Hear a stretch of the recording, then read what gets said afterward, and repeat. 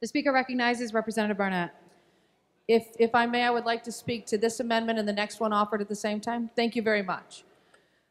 Colleagues, this bill is the first time we're going to be taking up any legislation which purports to do something to help many patrons in our restaurants who suffer severe allergies, sometimes culminating in anaphylactic shock that can proceed to death.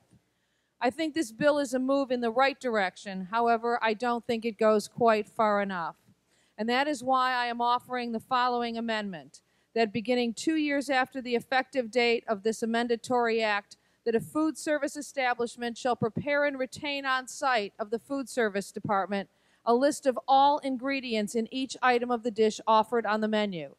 This is not that we want to publish whatever recipes there may exist, but when somebody comes into a restaurant and is speaking with a server and mentions an allergy, it is incumbent upon us in the state to protect the health, safety, and welfare of all of the patrons of that restaurant and to have on file a list of the ingredients in the restaurant that are in that particular item so that a server with good faith can go back, look and see what ingredients are in that item, and come back and tell the guests of the restaurant so that nobody suffers undue harm.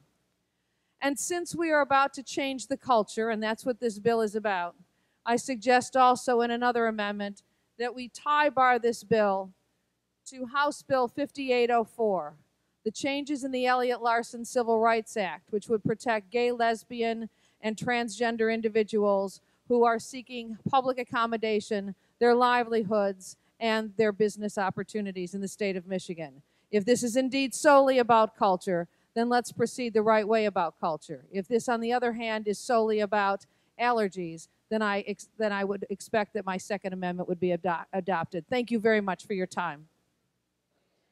Thank you. The questions on the adoption of the amendment. The clerk will open the board. The amendment is not adopted.